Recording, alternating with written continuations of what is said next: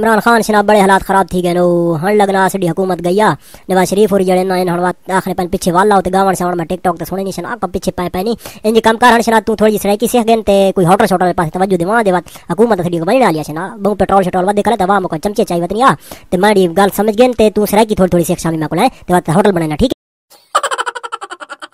मैं इन सबको रुलाऊँगा, कभी ज़िंदगी में हार नहीं मारूँगा, मैं सबको जेलों में भेजूँगा।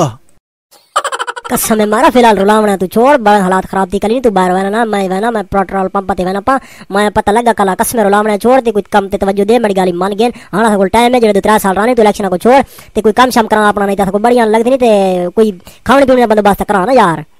मारने मैं ता फ़िलहाल छोड़ दे।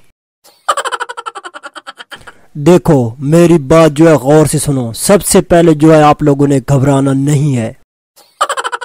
किन्ने नहीं घबरावना। यार कसम बड़ी पीछे पाई यार, तू तो समझना ही ना नाल है दे भाई शादी नहीं थी, अल्लाह मैं शादी दे घबरावना नहीं, सारा शायद ते घबरावना नहीं तू। चंगी मार देना तू, ऐसा कोई नाल नाल नंबर है मैं लगना मैं संगा पोदी तू रहे तू घबरा पे घबरावना नहीं, कमाल करे ना तू नहीं अभी देखना जो 2023 के इलेक्शन आएँगे, मैं जीत के दिखाऊँगा तुम्हें। ये बात मेरी याद रखना, ये कप्तान का वादा है आपसे।